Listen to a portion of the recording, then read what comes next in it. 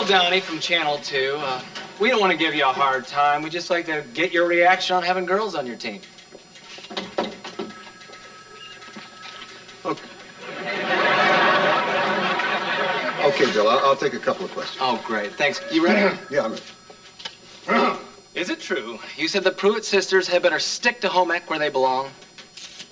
No, I, I never said that. Then is it true you recruited these girls as a publicity stunt? No, I don't need publicity here. We haven't won a game in two and a half years. We don't need publicity.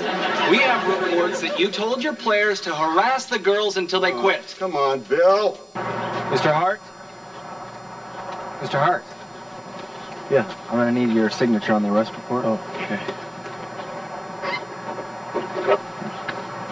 I hate to bother you at a time like this, but it would mean a lot to my wife if I could get your autograph. Oh, great. Thanks. You just made me a hero at home. Glad to be of help. Sure you don't need any help?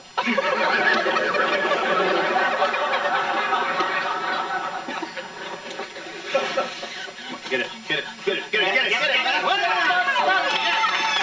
Hey, hey, hey, hey, hey. Open flames are nothing to be trifled with. Well, uh, everything seems under control here. Uh, you folks can, uh, uh, get back to bed now.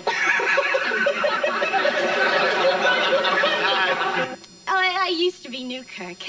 you remember Dexter? Yeah, how's it going, Dexter? Pretty good.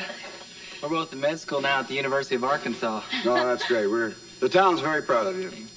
Guy, this I know this looks strange, you see, but I'm I'm about to have a vasectomy. Oh, well, we'll just get out of your way. Great, Well, how are Ava and the kids? great, And your mom? great, And That new baby? great. Get out.